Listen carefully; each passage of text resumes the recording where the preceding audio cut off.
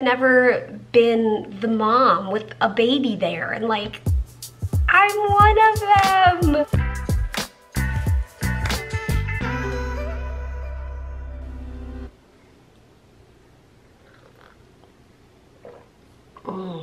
Good morning, guys. I literally just said, I need to show this because it's so beautiful.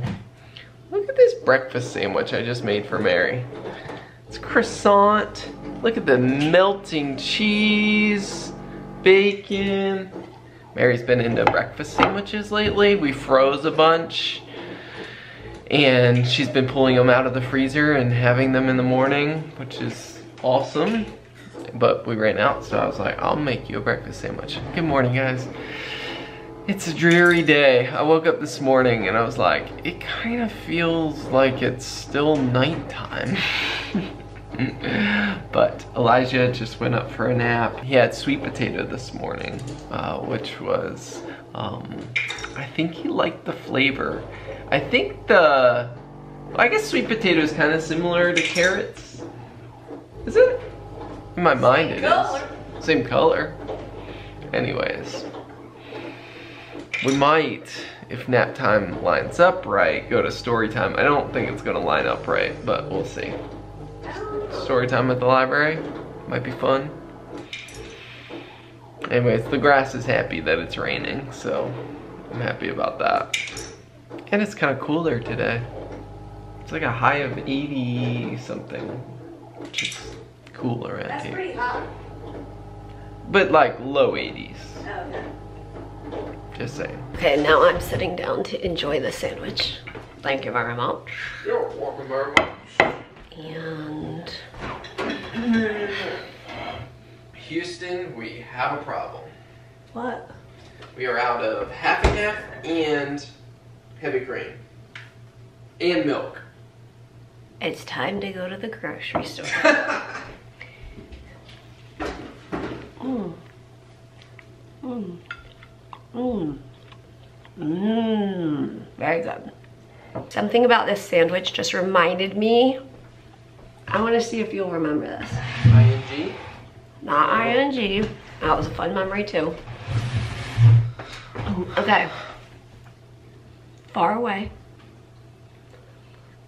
Different food. Far away, different food. Um, Scotland? mhm. Okay. In Scotland, we had. Did we have a breakfast sandwich? Do, No. do you remember? Uh. Trying to think of. Where are those Highland Coos? Oh. Did we have a sandwich? When- oh, cheese at the cheese shop? No. When we went to the Highlands, just barely into the Highlands for the day, um, with like a bus of people from his school, University of Edinburgh, we got to the maybe church or somewhere where we were like gathering before we went out into the Highlands, and they had oh, what do they call it? Oh, that's right. Melt? No. Bacon. Um, oh, bacon, bacon rolls. Bacon rolls. I think it was bacon rolls, although their bacon is very different. I mean, It's they have straight. It's like bacon. ham. Yeah, but I remember that's what this made me think of. That's right. Do you remember that? So they fed us Mhm. breakfast? Mhm. Bacon rolls. Mhm. I- I- uh, this is one thing I was thinking about the other day was I feel like Scotland was just a very hospitable place. Or not. Let's see. Well, I just mean like Well- in the hospital they bring around the tea cart. Like there's like formalities of hospitality. Yeah. Like I feel like Uh huh. I don't know. That's a really good At, point. at least things that we don't have in the states Mhm. that are part of hospitality there. Mhm. Yeah, Like, like bacon rolls. This is really good. Mm. Today is slightly different because Peter already edited and uploaded the video for today, which is a really nice feeling. I mean, he's probably still gonna be working a lot on, we have some like new store stuff. But one of the things I wanna do today is make sourdough bagels. I'm so excited. We were watching a video last night about how to make them And about halfway through the video, I was like, this looks so fun. And Peter was like, this looks like so much work. so we'll see. I think it will be fun and more work than the plain sourdough bread that we've been making. So the first step is that I need to feed the starter. That's what I need to do. We did end up getting a scale Peter ordered one for like $9 on Amazon. because our mailing scale, we had like an old scale from like our store stuff and we've been using that and it was fine. But this is infinitely easier and much more usable. So it's it was a worthwhile nine dollar investment so I'm gonna get this guy woken up and then in a few hours slash maybe tonight, we will mix up the dough and then it'll rise overnight. And then tomorrow morning, we'll make the bagels, boil the bagels and bake the bagels. Now that the sourdough is fed, I'm going to divvy out his uh, Elijah's next um, breast milk bottles and fill up the S&S and everything. So we thaw it in the refrigerator and then once it's thawed, I divvy it out because these breast milk bags do leak. So I try to get them out of the bags as quick as possible. They don't all leak, but I've learned in the last six months, they definitely leak often. So I'm going to do this and then probably dishes because kind of important. Okay, it's already 10.06. Story time starts in 24 minutes. It takes about 20 minutes to get there. Pretty sure we're not going to story time, but that's okay. We'll see. He needs sleep, so it's good. Milka. All right, quick update. As of yesterday, I talked with the interventional radiology at the hospital where they would do my port stuff and they said that the port stripping is for a fibrin sheath, which the pre-op nurses and the nurses in the infusion center, which obviously they work with ports all the time, um, they both, both of those sets of nurses in the last month or so have said this does not feel like a fibrin sheath. I guess when you're dealing with a fibrin sheath, there are certain things, like when you flush it, it feels like this, it doesn't feel like that, this or that, whatever. So I was asking like, I'm not sure that it's a fibrin sheath, I'm not sure it's not, but what is the stripping procedure? And they go in, he said it's basically similar, it's similar to a heart catheterization, which I never ended up having during the transplant evaluation. We basically got to a place where it, they canceled it basically. So I never had the heart cath and so I've never experienced it, but they go through a artery, vein, artery. They go through something in your leg and then thread a wire up through your body in your bloodstream, I guess, and then go in near your port in this particular procedure. And So I was listening and then um,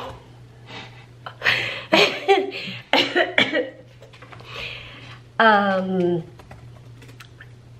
so then they were like, well, what is wrong with your port? I was like, I don't know. I'm being told that they don't really do port studies anymore at the main hospital and he's like oh yeah they don't do port studies anymore at the main hospital but um, we do it here at the satellite campus. So it seems super reasonable to me to go ahead and do a port study and that's what this uh, IR person recommended. There was already an order in the computer, so he was able to just go ahead and schedule me for a port study. I'm gonna be accessed on the 6th for IVIG, which is no longer at home. There's like a change in the situation and I'm now gonna go to an infusion center. Literally don't even ask, I don't even know. So we're gonna do that on the 6th. I'll stay accessed overnight. And then on the 7th, we'll go into this satellite hospital, not the main hospital, and go to their IR department. They'll inject dye into my port line and look at it under, I believe, fluoroscopy. It's like a moving x ray. So to me, that seems like a really reasonable next step. If it's a fibrin sheath, they can see that, I think, and then we'll know going into the stripping procedure that it will strip the line, it'll make the line clean, and it will all be good and worth it. If they can't see what's wrong with it, my guess is that it's just something mechanically like something's wrong with the port. Like the rubber part and the metal part aren't working together or something like that. I don't know we'll see what that test shows and then we will go from there. I it continues to cause much anxiety and I'm trying to be like kind of factual about it because it is factual um, but it's also super anxiety producing obviously and I think it's so interesting that for different people with different medical needs different medical things are more or less stressful. Such and such a procedure could be ultimate stress for one patient and very low on the stress for another patient. And then what isn't stressful for one is stressful for the other. Wherever you lie on that spectrum, this is this is my vice, I suppose. This is just like so much. And um I was thinking this morning like I just need to go in there and have some songs that are gonna like speak truth to me and I'm just gonna be like totally fine. But then again, I remember going into the, uh, the neurologist sent me in, this was like probably five or six years ago, sent me in for a brain MRI. And I went into it saying to myself, you are going to be fine. I have claustrophobia, which has worsened as my lungs worsened. So this was years ago, before my lungs got better. And um, I went into that saying to myself, I am going to be fine. And I get in that tube, and my brain said, You are in fact not fine. Insert panic just oh my goodness it was so bad. Anyway um i got through it not well and this is another one of those things where i'm like i think i can do this. But we'll see. Okay um random update for today's docket. We are gonna go downtown. Our friend owns a coffee shop and they're opening a new location. So we're gonna go check it out, support them, and that's like in the downtown area. We're like 15 minutes from downtown. And I saw a post in Durham, we have this like sharing Facebook group, and somebody posted that their child is in camp, and all of a sudden, camp was like, Oh, you need a flannel shirt for the recital in three days, or whatever it is. And apparently, they went to all the stores in Durham and didn't find a flannel shirt because it's in the middle of summer. And the child was like sad and stressed out. And I was like, babe, do you have any flannel shirts you're done with? Because they were asking for like a men's smaller medium. And he said, yeah, no problem. And so he found one that he could give away. And I, so I messaged, or I sent a text, whatever, I told her like, yeah, we have one if that works. So we're gonna drop that off to the location where the camp is. And she was just like, thank you so much. And I love that sort of stuff where I'm like, oh, we're done with this. You can totally have it. It's no big deal. And, um, and it, I guess will just be helpful for this very strange middle of the summer attire requirement for the child. How weird is that? Oh, she just texted and said, thanks so much for doing this. You saved the day. Well, we're gonna drop it off and I put it in a paper bag and we're just gonna put his name on it and drop it off. So that'll be the next thing we do.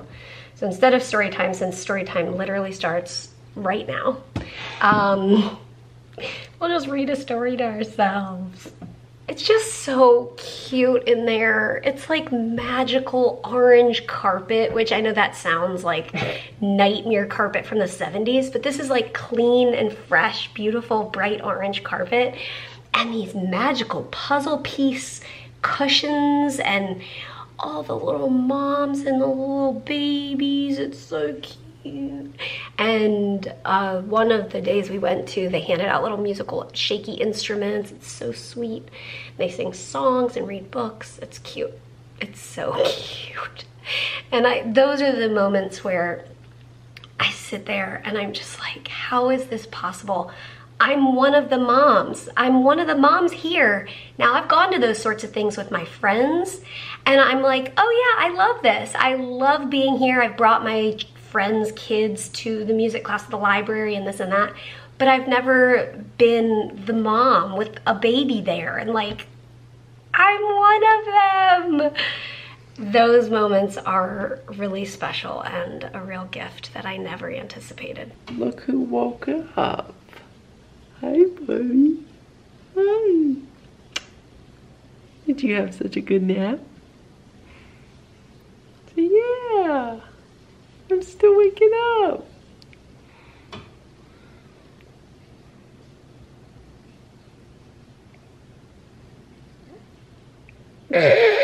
Okay, just in case I haven't done a cactus. Yeah, there should be diapers in the car. A cactus update in a while. This cactus is doing so well. It grew that top thing and three arms. This cactus in the back is growing double, double snake heads up here and kind of a four in one situation here. And then this guy, you can see how much he's grown. He was just that tall when we got him and now he's, mm, this guy's still, you know, the same, except these two little blooms, one bloom in the back. So we'll see, and then there's one there. We'll see if they actually flower. Guys, I feel like I just had a, like, parent of a young child moment. I was out back on the hammock with Elijah and I looked down and I noticed my shirt was inside out and it is five o'clock in the evening and I realized my shirt has been inside out all day long and I didn't even realize it. You know, that's just the way it goes. Ollie, you wanna say hi? You wanna say hi? There is some giggling going on in this room. What's going on in here? Gonna Is mama making you laugh? Is mama making you laugh? Gonna get you. yeah, Ollie, you wanna go play ball? Come on, Ollie. Let's go outside. Let's go outside. Oh, a lot of fun and laughter around here. Ollie, go run, run, run. Do you want me to get your ball? Do you want me to get your ball? Oh, we gotta give you guys an update on our bagels. We uh, have the dough all made. Ready, set, go get it. Bring it. Good boy. Okay, let's go show you our bagel dough. It's pretty exciting. And it was fun to make. We kneaded it for 10 minutes. And, um, I'm gonna give you a little peek. There it is. Is. it, bigger? it is, I think it is growing. And I'm actually curious if we'll be able to. Oh. Wait. what? I was thinking maybe we could do it before bed, but no, that's a lot of work. Oh yeah. Tom, We will let that rise overnight. Wait, What? What? we have to go to the hospital really early. Okay. I don't want the rise to fall. Oh, Maybe well. we are gonna do the bagels at midnight. Well, is that enough time for it to? Yeah, I think the second rise is only. It's like the other one, like the bread loaf. It's a short second rise. Okay. Okay. I don't know. I'm just thinking we have to drop him off at our friend's house before we go to the hospital. Mary has a routine um, CF appointment, which let's just acknowledge routine CF appointment. Like, what even is that in our previous life? But um, Okay. We think are grateful. Oh, we have to. we have to get going soon. We're headed to a church event tonight. So we'll wrap it up here and say, as always, we'll see you tomorrow. Good night. Gotcha.